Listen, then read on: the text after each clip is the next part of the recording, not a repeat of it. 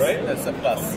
Yes, and therefore, if the cards are on the, uh, if the applications are loading from the card, they will be significantly better performing. The settings, uh, right there, and then we go to storage, there.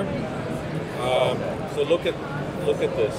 Total used of 196 gigabytes, right? Of internal memory, only 10 is available. So, but the total, 196 gigabytes.